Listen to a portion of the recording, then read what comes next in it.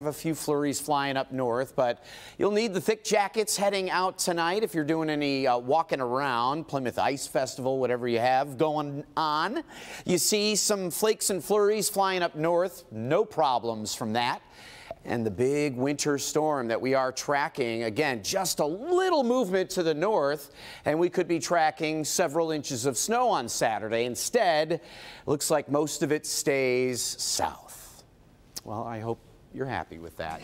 29 degrees for noontime Saturday, and any flakes that will be flying will be after 1 or 2 p.m. And again, mainly our south zone. 31 the high tomorrow. East northeast winds are going to be pounding uh, into this moisture throughout the day tomorrow and trying to shear it apart, at least steer it down to the south. And you saw one model had everything south, but a different snowfall forecast does show areas again in our our south zone, Lenawee, Monroe counties may see an inch or a little more, while the rest of us up to maybe nine mile will see some very light snow through your afternoon and evening.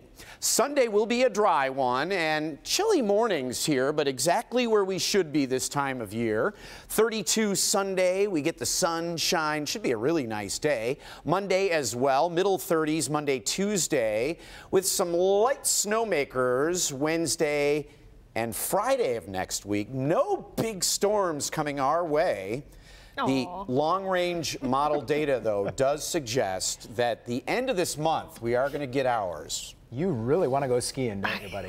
You know, it's good for a lot of businesses. I, they lose out on, on this stuff, and it's just what we're used to. I just, yeah. I just